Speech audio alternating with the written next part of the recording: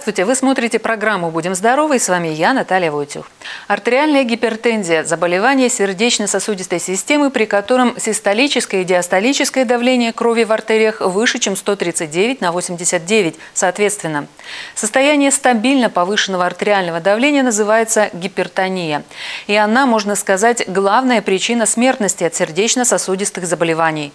По последним данным, с повышенным давлением на учете в нашей области стоит порядка 100 тысяч человек человек. И это только те, кто страдает чистой артериальной гипертензией, без осложнений и сопутствующих заболеваний. До 50 лет болеют один из 10 человек. После количество увеличивается в 5 раз. Достаточно серьезные показатели для того, чтобы задуматься и не допустить развития артериальной гипертензии.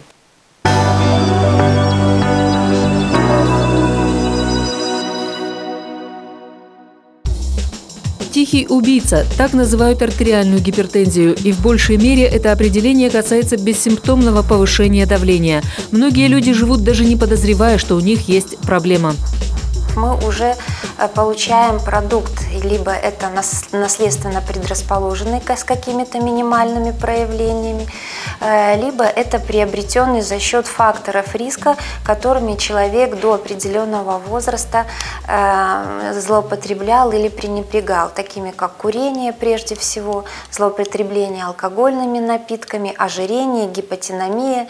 На сегодняшний день синдром хронического стресса является также одним из основных причин. Способствовать развитию артериальной гипертензии может наследственность, ожирение, сахарный диабет. Человек, в жизни которого присутствуют эти факторы, должен постоянно контролировать давление. Еще одна группа риска – люди, достигшие 50 лет. И если давление превышает норму, а симптомов никаких нет, это не повод для бездействия как еще пациенты э, или просто люди оценят, ну, у меня нормальное мое давление 150 на 90. Это уже патология, это уже ненормальное. Нормальное давление считается 120 на 80 до 140. Все, что выше 140 на 90, это считается уже патологией, которую нужно контролировать. Э, нужно постоянно заниматься профилактикой и принимать соответствующие лекарственные средства. Сегодня есть препараты, которые не только снижают артериальное давление, но и не допускают его подъема. Главное обратиться к специалисту, который подберет правильное лечение в зависимости от степени тяжести заболевания и особенностей его течения. У нас имеется весь арсенал не только э, препаратов монотерапии, ну, если необходимо, и э, препаратов комбинированной терапии, когда пациенту очень удобно. Это утром достаточно одну принимать таблетку, которая, если это комбинация, и пациент спокоен в том, что у него не разовьется, не повысится артериальное давление, и при различных нагрузках э, эти цифры не будут способствовать к развитию каких-либо осложнений заболеваний. Такие э, тяжелые, опасные заболевания, как ишемический э, инсульт или другое э, острое нарушение мозгового кровообращения, другой этиологии, либо это инфаркт миокарда и масса-масса осложнений, которые влечет за собой артериальная гипертензия.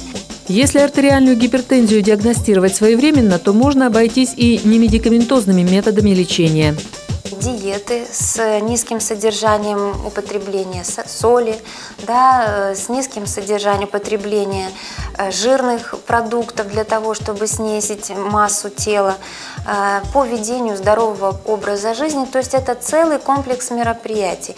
Просто нужно понять всем, что этим заниматься нужно. И нет такого понятия, что для меня это нормально. Может быть хорошее самочувствие – но абсолютно не значит, что организм работает в адекватном, нормальном режиме, и это не приведет через год, через два, через пять, кому как повезет, к каким-либо серьезным осложнениям. При отсутствии адекватного лечения или необоснованном прерывании приема лекарственных препаратов у больного может наступить гипертонический криз. В этом случае необходимо применить экстренные меры по снижению давления и вызвать скорую медицинскую помощь.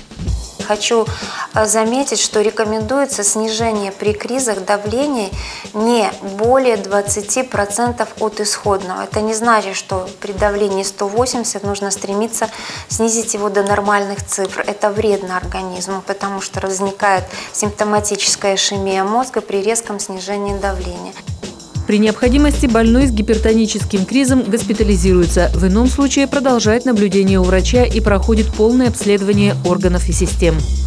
Есть э, у населения все возможности, что касается здравоохранения, контролировать и держать в рамках свое состояние. Повторюсь, вопрос только в том, чтобы у всех была мотивация это делать. А мотивация одна – счастливая, здоровая жизнь, э, качество жизни удовлетворительное, чтобы можно было действительно радоваться весне, радоваться детям и приносить тоже своим присутствием в жизни окружающим только радость, а не проблемы.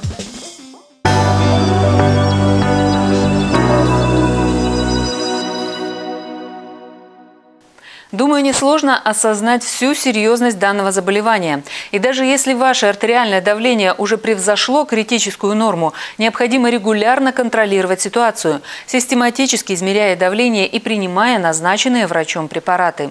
И никакого самолечения. Это крайне опасно. Далее в нашей программе мы поговорим о проблеме, которая наверняка волнует многих родителей – нарушение стула у ребенка.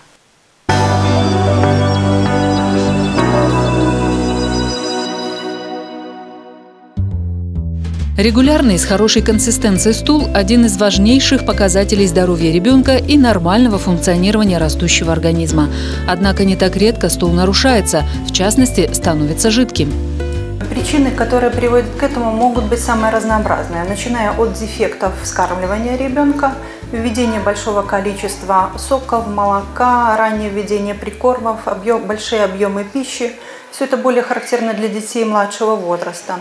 Это могут быть какие-то наследственные нарушения обмена веществ, нарушения усвоения пищи. Это могут быть Э, введение, э, получения лекарства ребенком, чаще всего антибактериальная терапия, которая вызывает дисбактериозы. Это могут быть глистные инвазии. Причин много, но чаще всего к расстройству стула приводят вирусные, характерные для холодной поры года, и бактериальные кишечные инфекции, для которых благоприятна теплая пора. Кроме стула могут быть изменения такие, как рвота. Рвота может быть Э, однократная, двукратная и многократная неукротимая рвота. Могут быть, может быть повышение температуры от невысоких цифр 37-37,5 до высоких 39 и 40.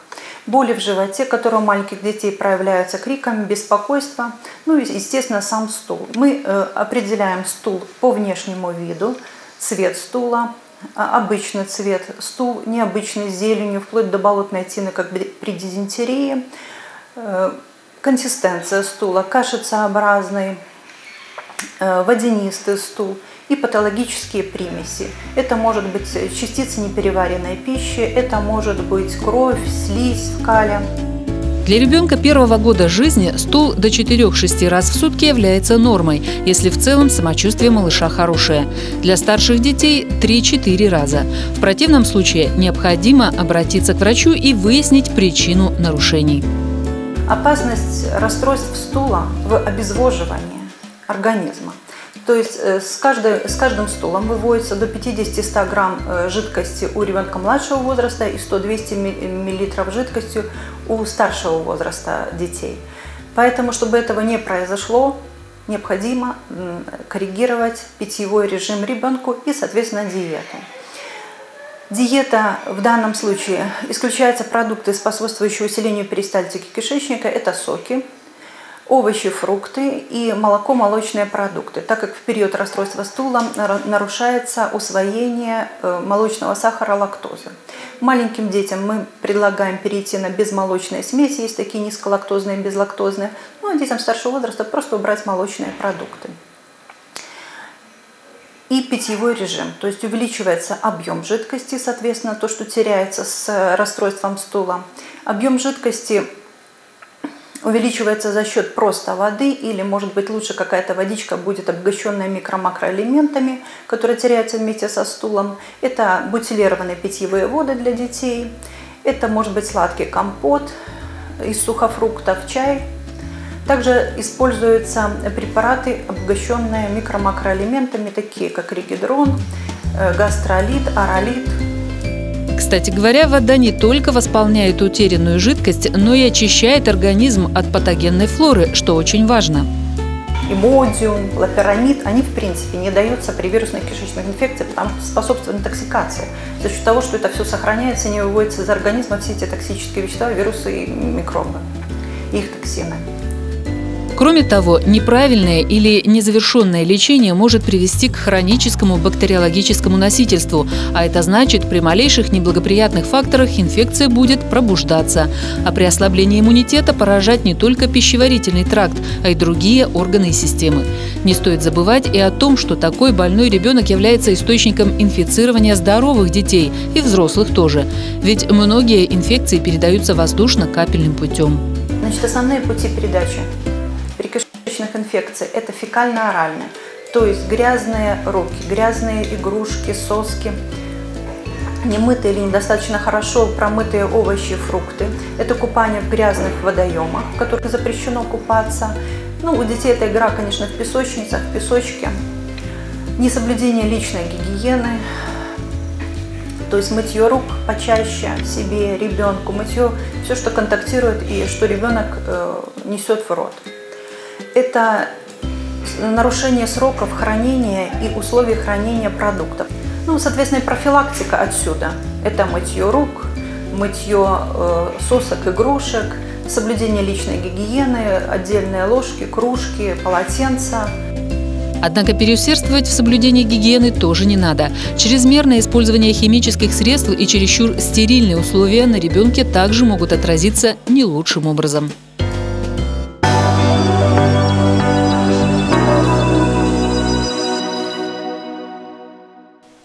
Не забывайте, что наиболее благоприятные условия для кишечных инфекций создаются в жаркую погоду. Поэтому не храните готовую пищу при комнатной температуре более двух часов и покупайте проверенные продукты в соответствующих местах, обращая внимание на срок хранения. А мы продолжаем. В Брестской стоматологической поликлинике на Гаврилова освоена новая методика протезирования – дентальная имплантация. Насколько доступна данная стоматологическая услуга и каковы ее преимущества, узнаем прямо сейчас.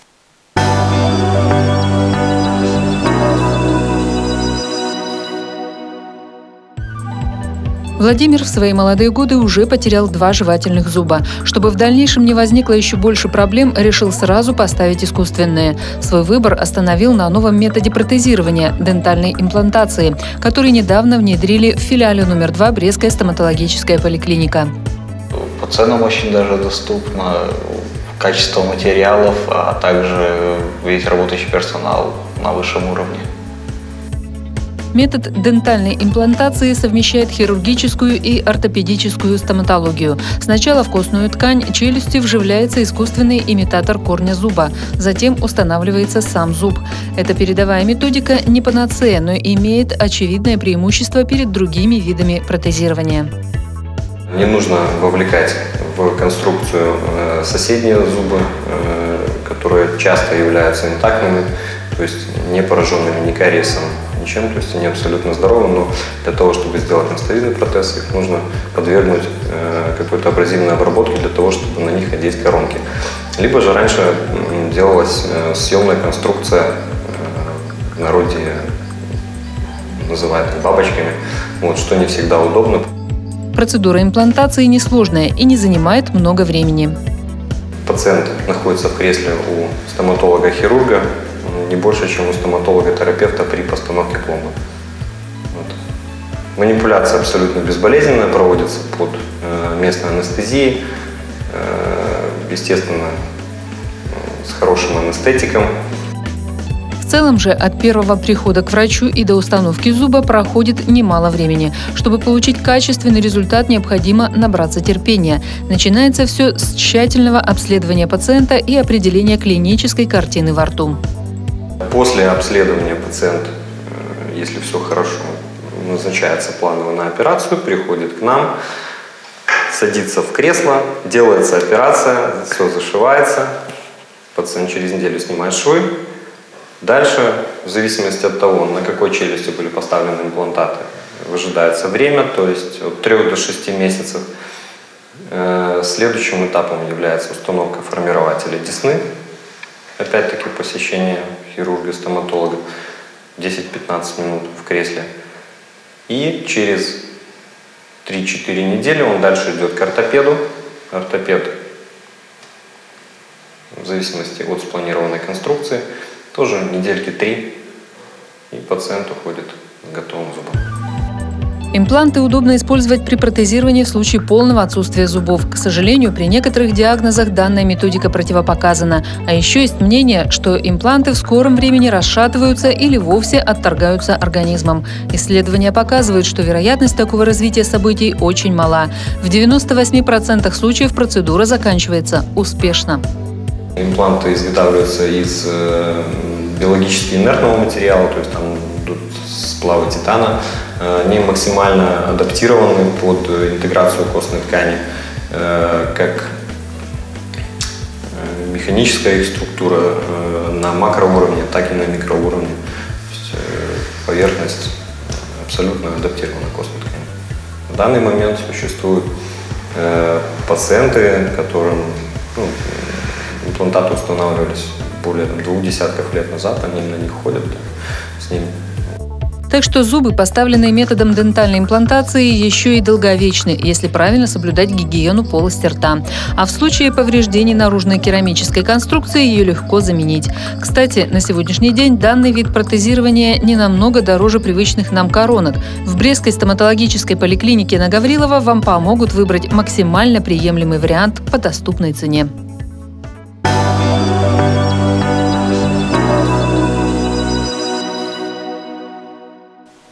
Кстати, в этом году филиал номер два Брестская стоматологическая поликлиника отмечает юбилей – 25 лет. Творческая группа программы «От всей души» поздравляет коллектив с замечательной датой. Желаем вам дальнейшего развития, профессионального роста, а каждому работнику учреждения в первую очередь здоровья и как можно больше благодарных пациентов. На этом все. До встречи через неделю.